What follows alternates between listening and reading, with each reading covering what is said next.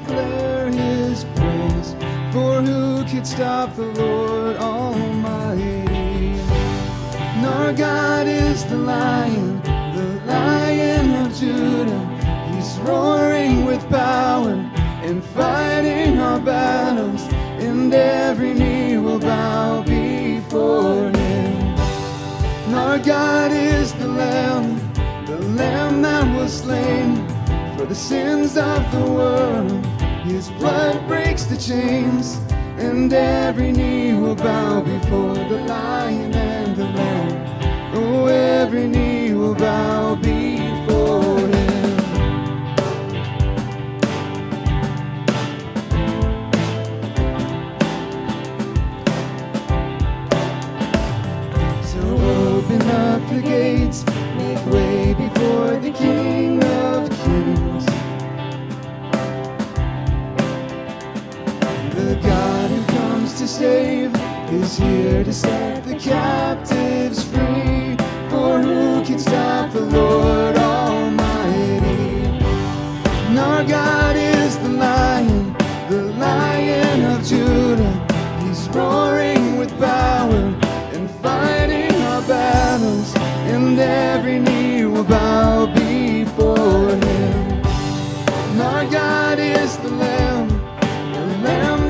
slain for the sins of the world. His blood breaks the chains, and every knee will bow before the Lion and the Lamb. Oh, every knee will bow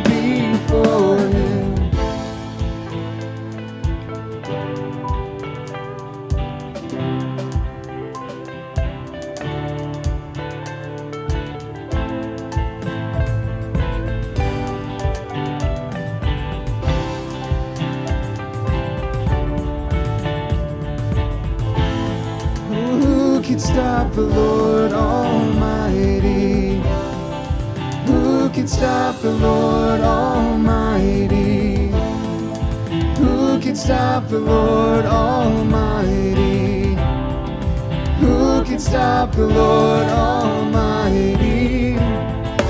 Who can stop the Lord Almighty? Who can stop the Lord Almighty?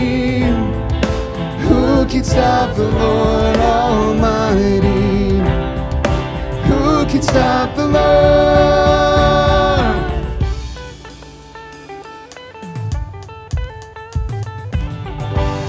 And our God is the lion, the lion of Judah.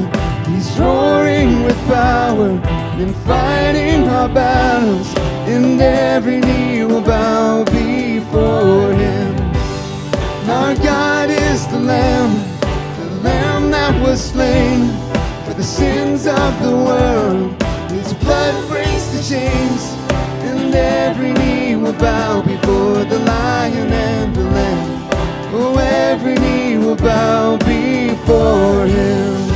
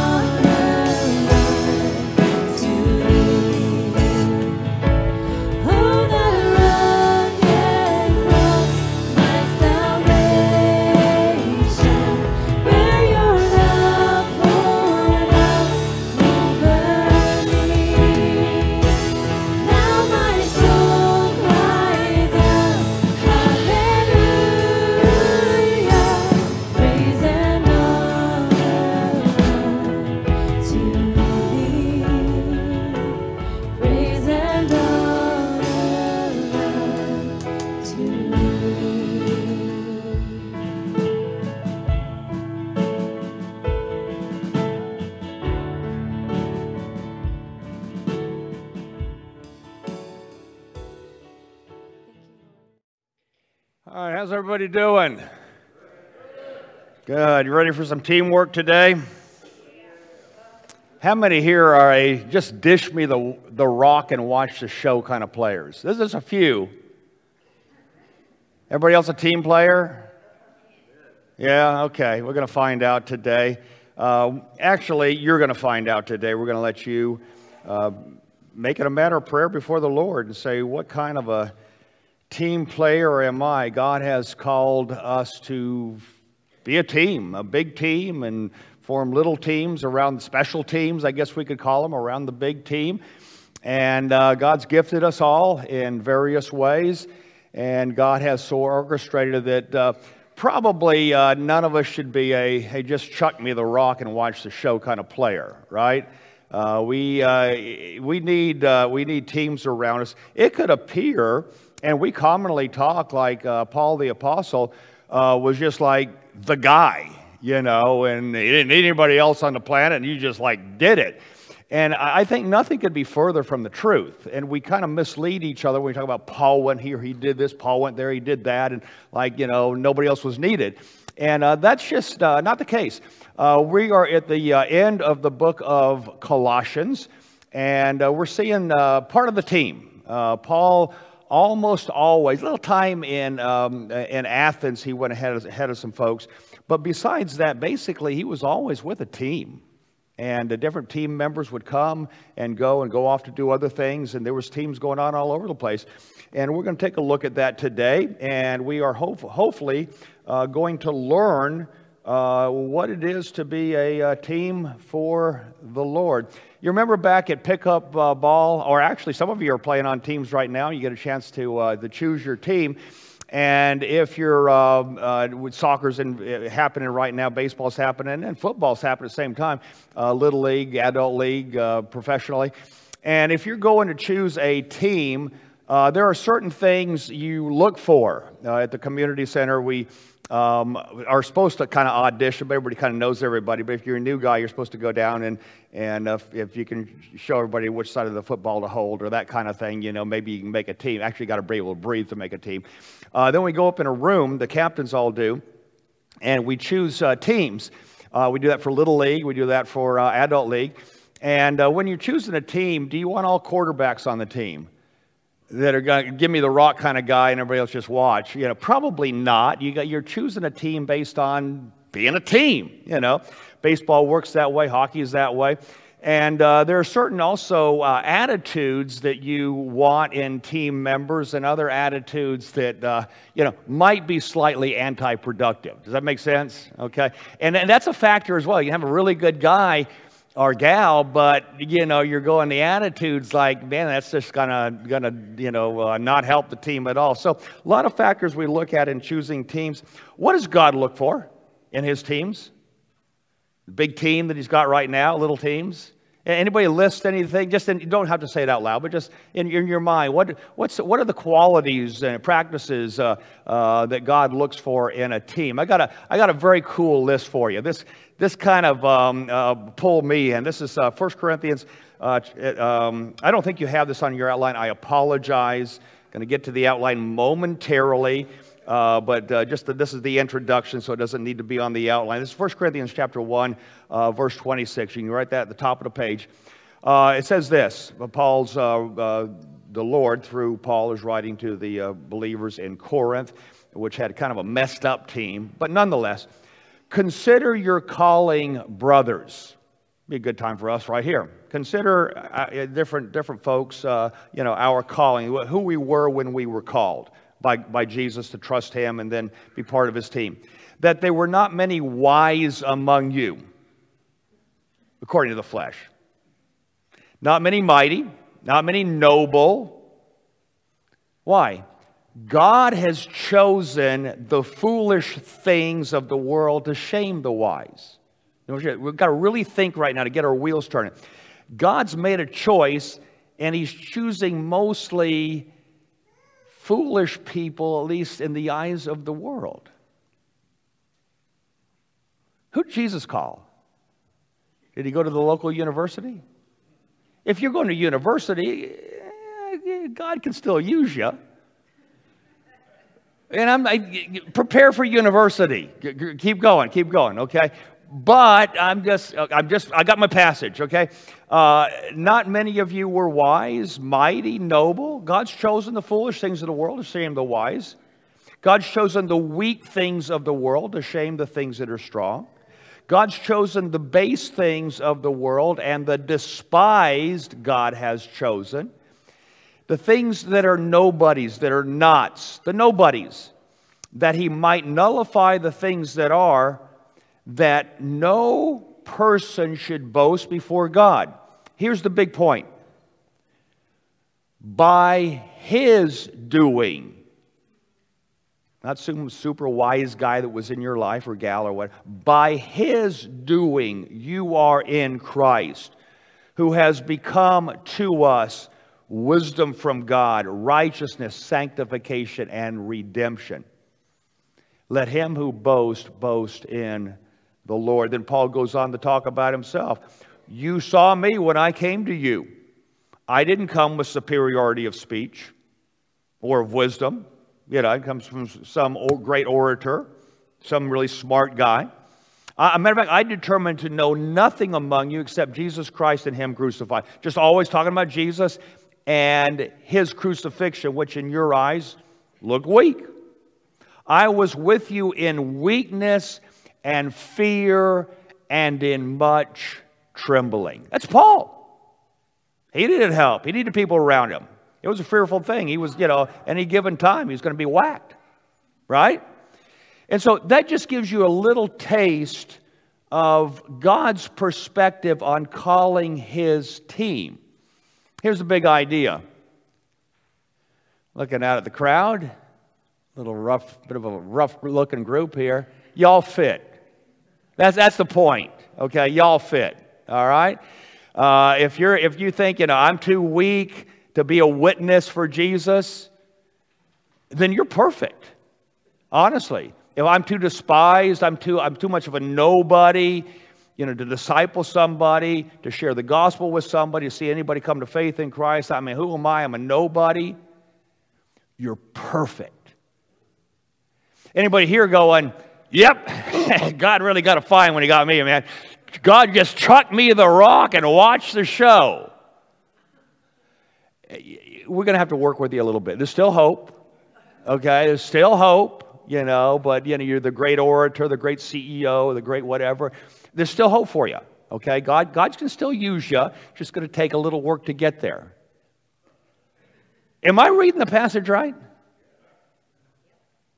That's 1 Corinthians. All right, the last part of 1 Corinthians uh, chapter 1 and into chapter 2. Here's Paul's scenario and, uh, and that you do have this in your, um, on your, in your sermon notes. Here's Paul's scenario. Acts chapter 28, the last book in the, in the last chapter in the book of Acts. And I want you to, to get the scene because we're going to look at these, these teammates in this context. All right? They're not just in midair. These are real live people with real skin with real, uh, you know, real central nervous system. They feel pain the same way we feel pain. Uh, they have the fears we have. They have all of that stuff going. These are human beings, probably on the uh, from from society's perspective. 1 Corinthians chapter um, chapter one, probably on the weaker side from society's perspective. This is the team that God has chosen. And this is the context in which they're operating as this letter is being written. And so I want you, I want us to envision this. These people that we're going to read about are with Paul in this scenario. So everybody, everybody get the picture. Acts chapter 28, verse 16. When we, uh, wait, wait, what, what does that word we mean? Luke is writing this. Luke is there. We're going to. We're going to refer to him in a moment. When we entered Rome, what's just happened? Well, I'll give you a hint. Acts chapter 27 just happened. What happened in Acts 27?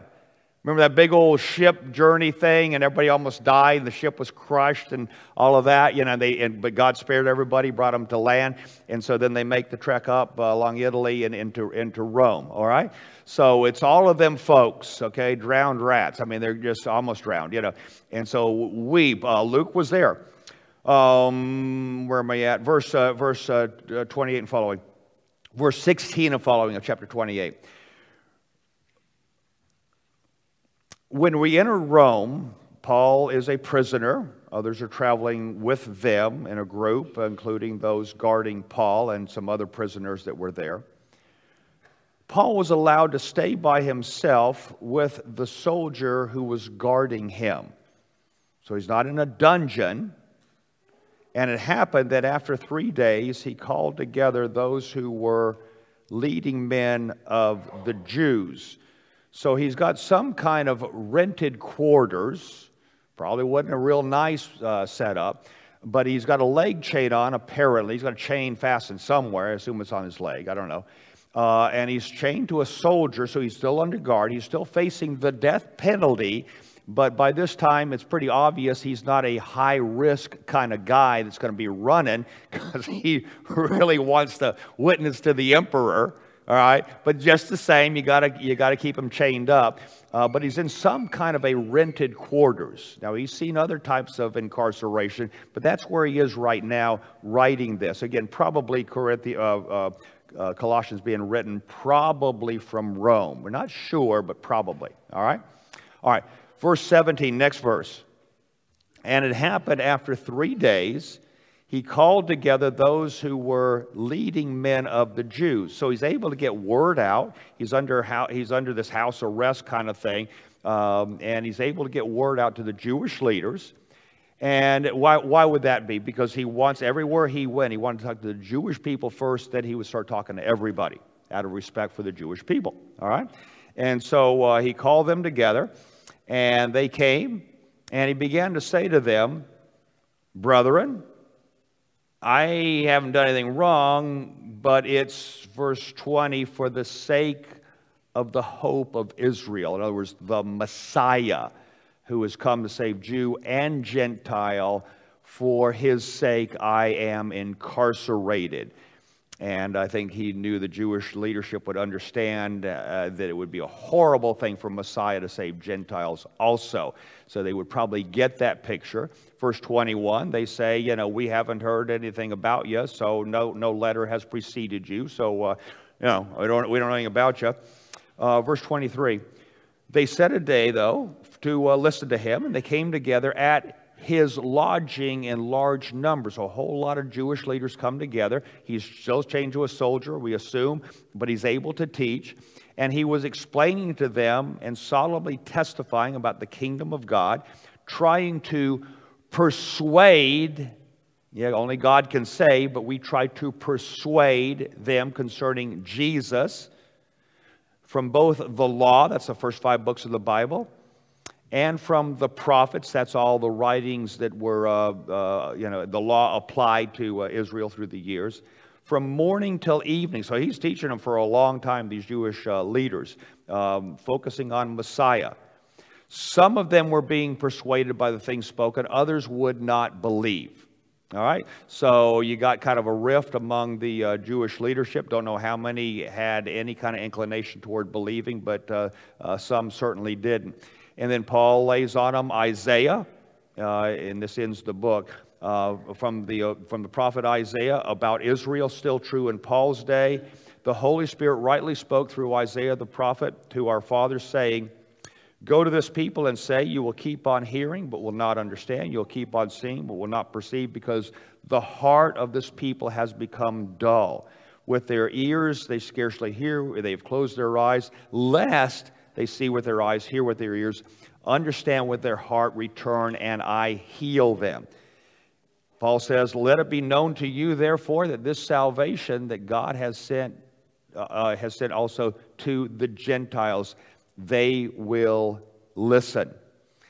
Uh, verse 30 And for two full years, in his own rented quarters, he was welcoming all who came to him preaching the gospel, uh, preaching the kingdom of God, and teaching um, concerning the Lord Christ with all openness, unhindered, except for obviously the chain and confinement. All right?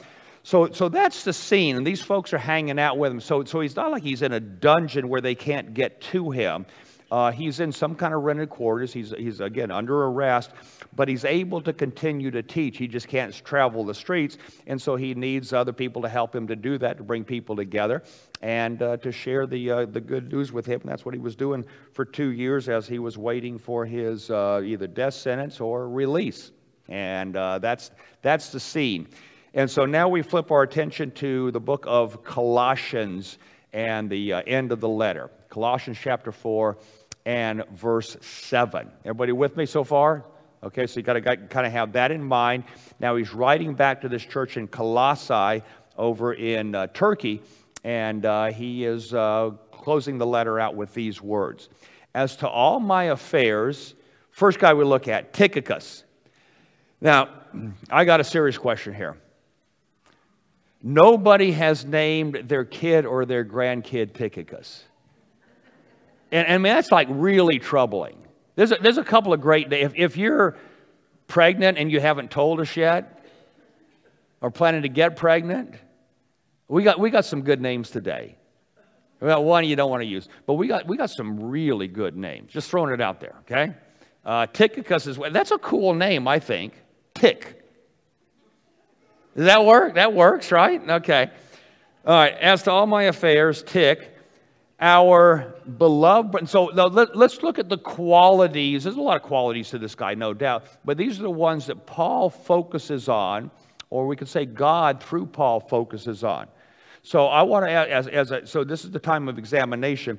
As a team player in your life, am I this guy? Do I, do I, am I maturing in these qualities? Nobody's arrived in anything, but am I maturing in these qualities? And I could ask myself another question Do I pull around me people, believers with these qualities? So as we go through, let's look at what it is to be a, a team member for the Lord uh, with other Christians and the team members to look for as well. So, as all my affairs, Tychicus, our beloved brother, now, if you say beloved, well, uh, uh, well, you actually can take off the word be. It sounds like we're at a funeral or something, okay? It's just in Greek, it's just loved, okay? So just kind of cross that out.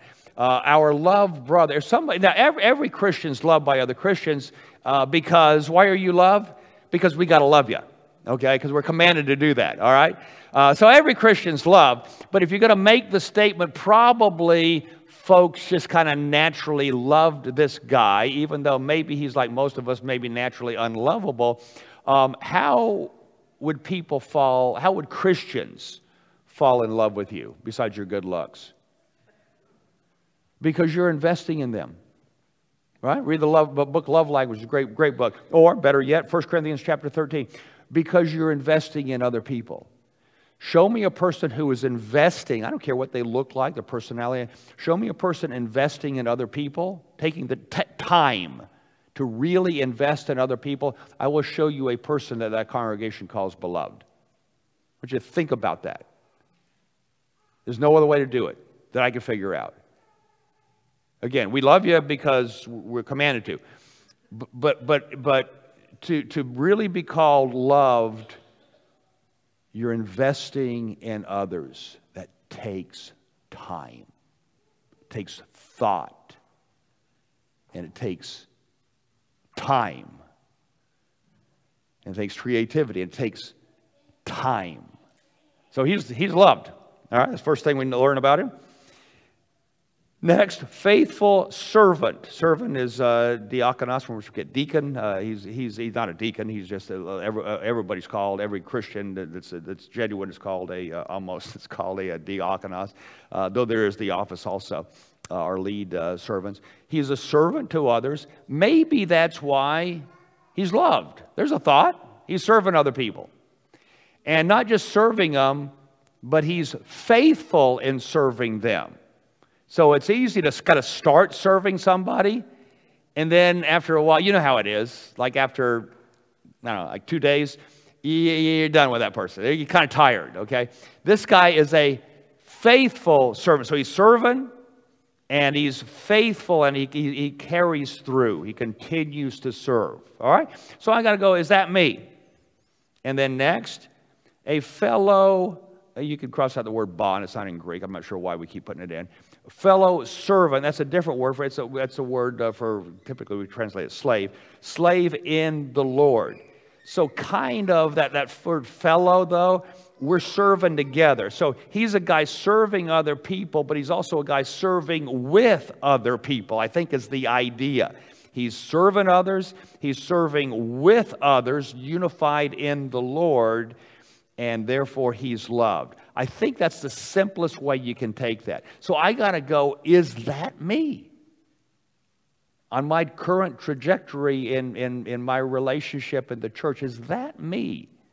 So examine yourself if you would. It go, it, all of this is a matter of, of direction. And are you pulling people around you that are this way? All right? He will bring you information for I have sent him to you for this very purpose, that you might, two things, know about our circumstances, and he might encourage your hearts. This guy is able to encourage you. I want to send somebody back to you. It's about, I don't know, about a thousand miles, right? Hundreds of miles anyway. I want to send a guy who, when he arrives, that's a long trip back in the day. I want to send a guy to encourage you. And also, I want you to know how we're doing here. We read a little bit about how they were doing. So uh, he's going to bring back to the church in, Col- in Colossae, where Paul had never been, apparently, but he still knew some of the believers because he did a lot of work in Ephesus, not very far away. So he's wanting to send word back to them how they're doing, and he wants their hearts to be encouraged. And he's got a guy, this guy knows how to encourage. So I got, I got to ask myself the question do I know how to encourage other people? Or do I just have the gift of, uh, what's, that, what's that gift where you can just judge other people and call it a spiritual gift? Uh, discernment. Right? Am I just, I got the gift of discernment. I don't encourage, I just got the gift of discernment. Boy, I can point out faults in other people. Right? What a great, yeah, that's, yeah, okay. Uh, no, are you, are we, am I able to encourage? Am I the type of guy that could be sent to another uh, group of believers, another house group, whatever it is? And, and, and I know, you know, the house, your house group that sends you to that other house group knows that you're gonna build them up and not just find faults with them. So, some good stuff to examine our hearts with. He, he's able to do that. By the way, he, he's also, as he travels, he's taking with him, with his little team that's traveling, the letter of Colossae, uh, to the letter, the letter of Colossians, the letter of Ephesians, and a guy named Onesimus, and we'll talk about him in a moment. A little bit in the little bit in the background of this guy, Acts chapter 20, verse 1 after the uproar had ceased, this is taking place chapter, this is after chapter 19, this is actually 20. In 19, there's a big uh, uh, ruckus, a big riot kind of thing in Ephesus. Paul had been there for a long time, and company, and uh, one of the um, uh, silversmiths is like really ticked off because his business, business is going down because people are like uh, going, you know, we're not worshiping idols anymore. There's, there's too many people were, were saying that, and uh, we're going to turn to Jesus. No idols involved with Jesus. No, you know, there's no images whatsoever. And so uh, he's like really, uh, re- he's like really hacked off. Gets the whole city in an uproar, and there's a big, big uh, public scene. And after that, this guy and others continue to travel with Paul. And you'll notice in verse 4, his name is mentioned with other names. And the next thing that happens, verse 3 is a plot was formed against Paul by the Jews. He was going to hop on a boat and head for Syria. They're wanting to go back to Jerusalem, take the offering. So a plot is formed against Paul, and uh, they learned about it. So they figure, well, let's not jump on the ship because we, you know, we're uh, uh, we don't have any recourse on a ship. For whatever reason they found it, uh, you know, the cruise ship uh, a little bit less um, less safe, and so they uh, go back by way of land. And if you if you were Tychicus, what would you be thinking? Okay, there's a whole bunch of uh, really, really, really angry, angry Jewish leaders that are wanting to whack Paul, probably willing to whack anybody with him. And this guy continued to stay with Paul. Would you? Would I? Right? And a whole thing of, all right, be safe. Like a complete, completely foreign to Christianity completely foreign to Christianity. Be faithful. no matter what it means. Be faithful. That's what we're called to do. All right? Uh, and uh, that's enough on Tychicus. There's a few other passages that have him.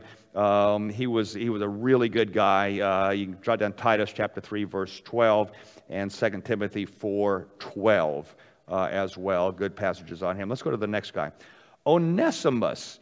Now, now who is Onesimus? Does that name ring a bell for anybody? We're getting to Philemon if there is a, uh, you know, later on here, shortly down the road, very shortly down the road. And he was a guy that was a, uh, a slave to what, you know, what level was he? What was his education? We don't know. But um, he's traveling with Tychicus. They're coming back together. And um, he is, we'll talk about his story in just a moment, but, but uh, notice these qualities. He is faithful and he is loved. So he's a. Uh, I'll give you this part. He's a fairly new believer, and as a new believer, he's loved by others that are around him. Why is that? Maybe because he's faithful. We probably could throw the word servant in as well. He's serving others in a faithful way, though he's a brand new believer. Therefore, people fall in love with him. He's investing in the lives of others who is one of your number. You know Onesimus. He was part, some way, shape, or form, at least bodily part of your gatherings. He was maybe a lost guy, but he was there. They will inform you about the whole situation here. So he's also trusting this new believer to share with the believers in Colossae about Paul accurately. New believer, wasn't on the sideline, he was still in the middle of the whole thing. All right? So you might be a new believer and you go, okay, this is, this is cool. Um, Philemon chapter 1 and verse 10, we have these words I appeal to you, and he's talking to a guy named Philemon about Onesimus. I appeal to you for my child, whom I have begotten in my imprisonment. His name is Onesimus. So, what are the chances? Apparently, Onesimus skips town. He's tired of being a servant slave, you know, for Philemon, for whatever, you know, and we'll get into that when we get into uh, um, uh, Philemon uh, in a few weeks. Uh, but he, but he, so he escapes in essence. Okay, so he splits town. Could be really serious con- consequences under Roman law. I think uh, we're led to believe that anyway and he figures, I'll go to Rome. Nobody's going to find. There's like two million people in Rome in the time, right? I mean, who's going to find me there, you know? And it'll be fun, a lot of parties. It'll be different than, you know, Colossae. Yeah. And so it'll be cool. It'll be a great journey. So he goes to Rome, right? Two, I mean, what do you think about this? Providence of God. Two million people there. Paul is incarcerated in the scene we just read about. And somehow, through Paul, Onesimus hears the gospel and becomes a Christian. Like, what?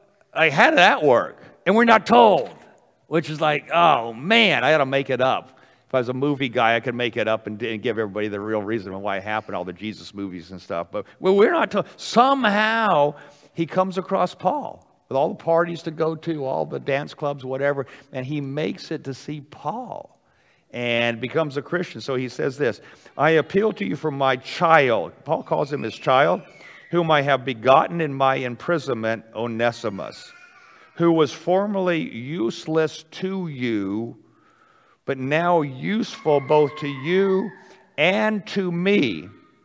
I have sent him back to you in person. That is, listen now, sending my very heart. As I send him back, I'm, it's like I'm sending my, the word is for, for soul or guts. I'm sending my emotions, my soul. That I am, I love this guy. But I'm sending him back because it's the right thing to do. And again, we'll get into that more uh, um, uh, when we look at the book of Philemon. And so, um, I want to keep him here that he might minister to me in my imprisonment in your behalf, but it's the right thing to send him back, and so you figure out uh, the right thing to do. This is all about grace. This is all about a guy that has uh, that was a lost guy, apparently part of the church to some degree, but he was lost, escapes, maybe stole some stuff on the way out the door. You'd think that would be the case, right? That you had to pay for the trip, and becomes a Christian. Now wants to go back and get things right. That's very, very cool. And God's going to use this guy. And one of the neat things is, is a guy named um, Ignatius, who was one of the early church fathers, writes about him, uh, this guy in, uh, in the uh, church in Colossae, and says he became an elder. Kind of cool. Just doing the right thing. There is neither Jew nor Greek, slave or free, male or female, for you are all one in Christ. Doesn't matter your economic status, doesn't matter your past, doesn't matter your past. All of that's forgiven in Christ, and you can be used in a powerful way. We, we got to take in this message. Uh, Paul uh, is, is, is, is, on a number of occasions, 1 Corinthians 6, for example, such, listing a bunch of bad things that we do, such were some of you, but now, now you're washed, you're sanctified, you're justified, and set apart for ministry. The past can be totally the past. And that's the way we believers see one another. Amen? Oh, Onesimus. Don't let your past sideline you. You can still be part of the team. Uh, Colossians chapter 4, verse 10. Aristarchus. Now, that's another cool name. By the way, Onesimus, not bad. Just throwing it out there. Aristarchus, that's a very cool name. Aristarchus, my fellow prisoner, sends you his greetings. Now, some would say fellow prisoner means he was just, man, he was, he was there eh, with Paul in heart, and so in that sense, he was a fellow prisoner. But Paul doesn't say that about everybody. And there's a lot of other guys that were there, you know, with, with heart and soul doing this thing. Um, it just, I don't know. I think it seems to mean what it says. This guy was also in prison. And somewhere along the uh, route, it happened to him. Acts chapter 19 Verse 28 When they heard about this, they were filled with rage. We just talked about this. And began, began crying out, Great is Artemis of the Ephesians. Uh, the, again, this is that whole uh, silversmith thing, and the Ephesus is thrown into confusion, and uh, they're losing money. And the city was filled with confusion, and they rushed with one accord into the amphitheater kind of thing dragging along Gaius and who's that guy? Aristarchus. So that's where we meet this guy. Paul's traveling companions from Macedonia. So they're wanting to grab Paul and whoever else, but they can't find him, so they grab Aristarchus and this other guy. Now, you say, well, that's a cute little story. Uh, no, it's really not cute. You've got an angry mob they are livid about the finances, okay? And they're losing money, and Paul and these, these, these scoundrels have turned people away from this idol stuff. They're losing a fortune on this, and they're, they're, just, they're, they're just spitting mad. And they, these guys could have get, they, they could have been killed. All right, this big mob scene. Now, here's the cool thing that didn't detour Aristarchus at all. He's like, now, for, for you or me, we're examining our hearts right now. If that happened to one of us, well, I, I remember when I was leaving home, my, my, uh, my family said, okay, be safe. Like that's the big virtue. And that wasn't it. No, be faithful. This guy kept traveling with Paul and company.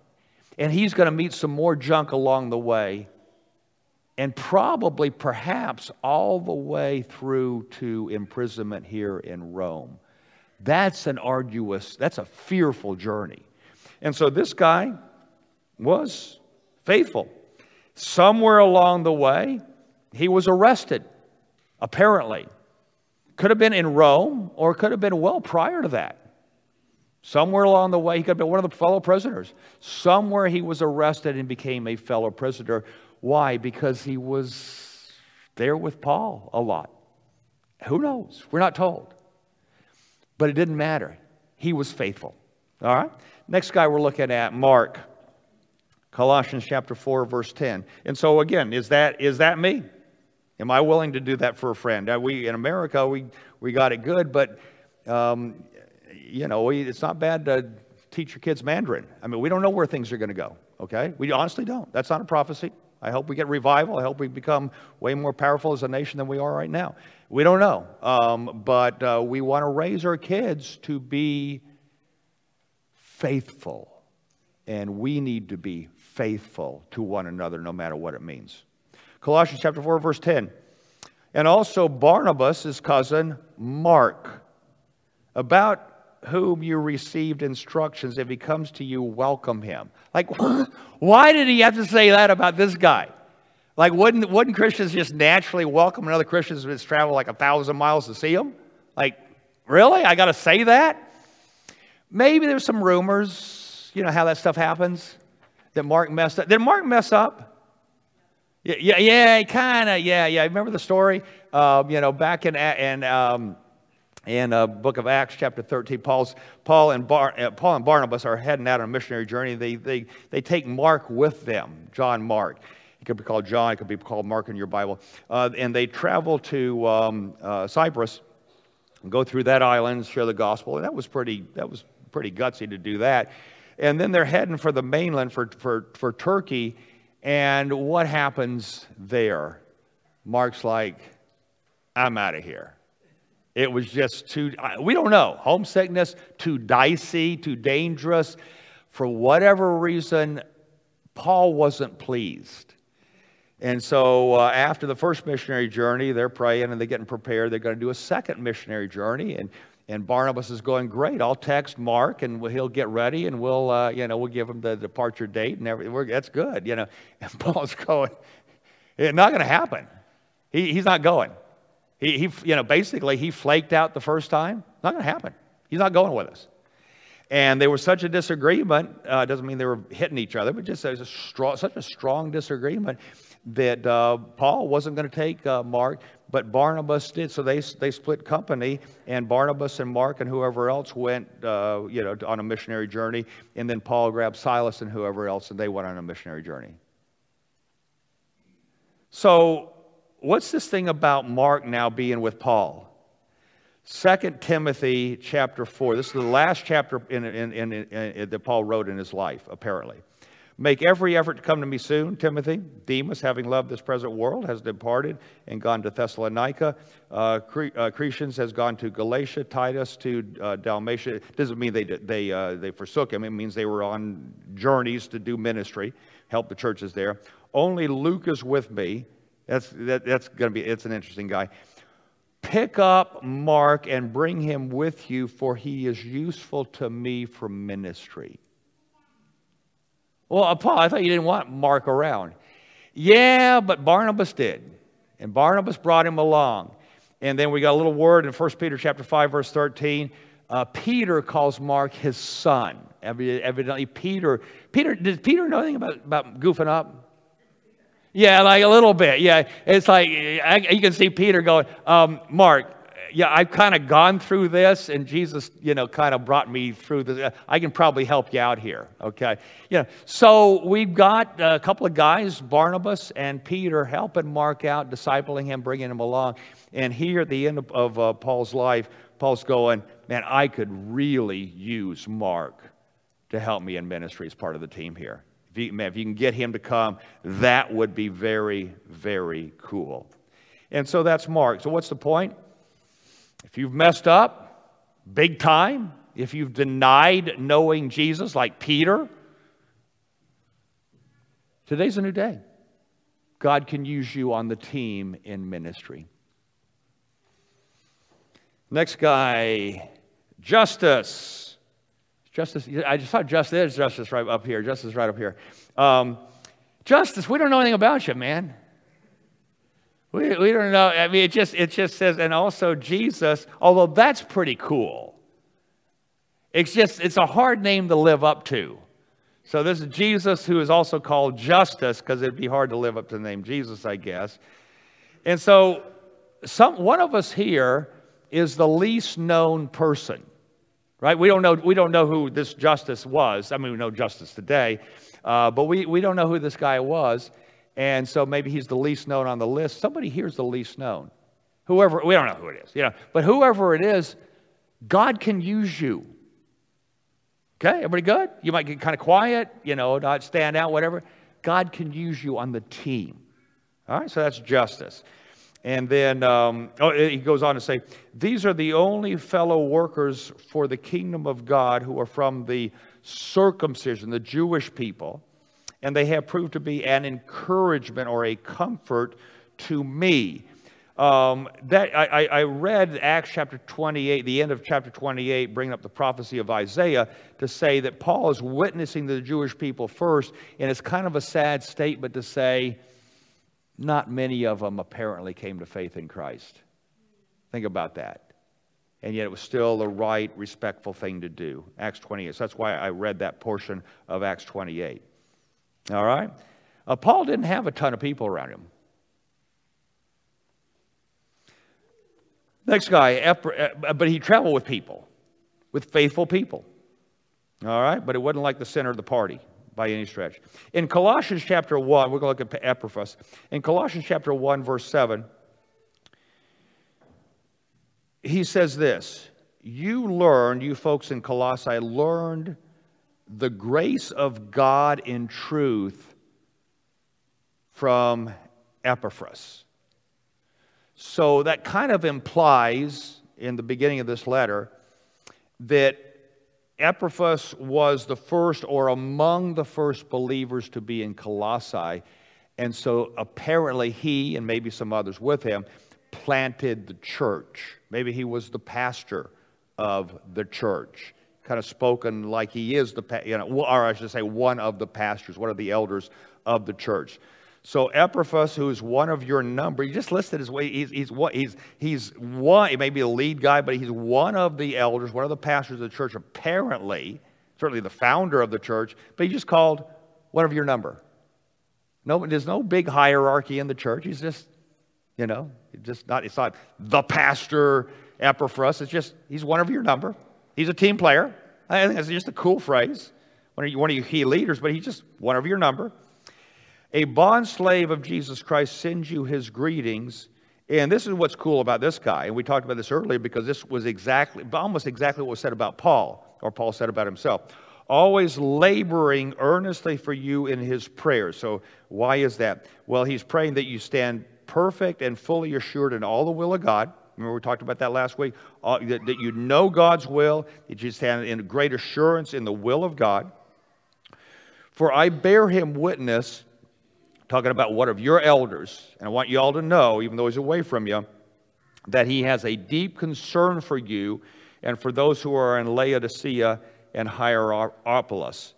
Well, you say, well, if he's got a deep concern for them, why is he spending time away from them? Philemon, chapter 1, verse 23, we have these words Epaphras, my fellow prisoner. Hmm. Evidently, took a little pastoral journey, be with Paul for a little bit, was arrested. Don't know how it went down. Loves y'all, wants to be there, can't. But he wants, like this is the pastor's, this is the elder's heart, this is a Christian's heart. He wants you all to know the will of God and be solid and secure in the will of God. And he's just agonizing in prayer that God would work this in your midst. Isn't that cool? Is that my heart? Is that our hearts? And then Luke is a, uh, a good guy.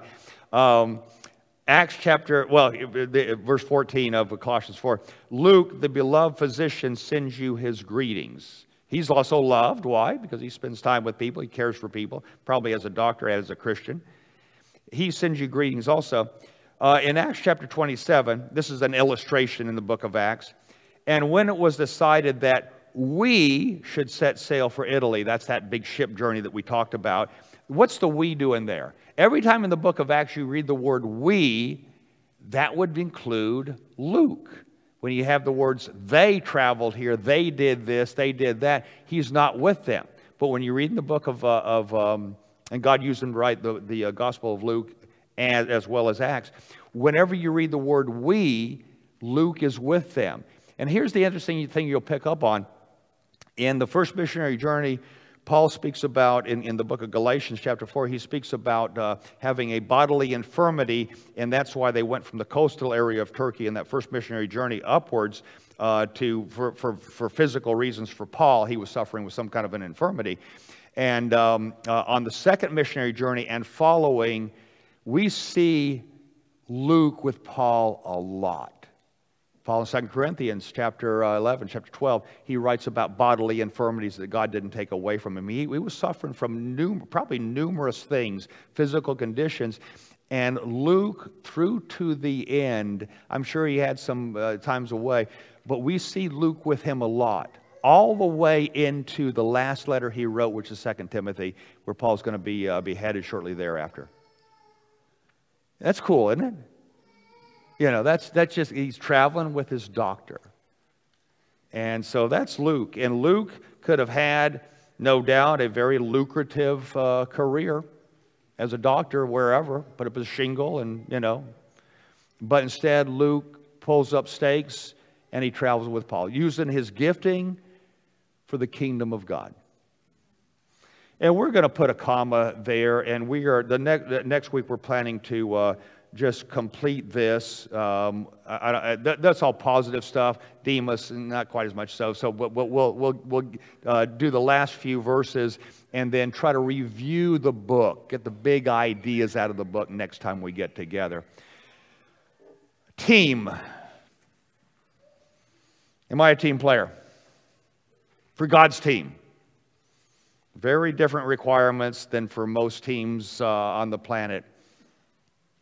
Am I moving? Is God moving my heart, my soul, my practice, my use of time? Is God moving me as a team player?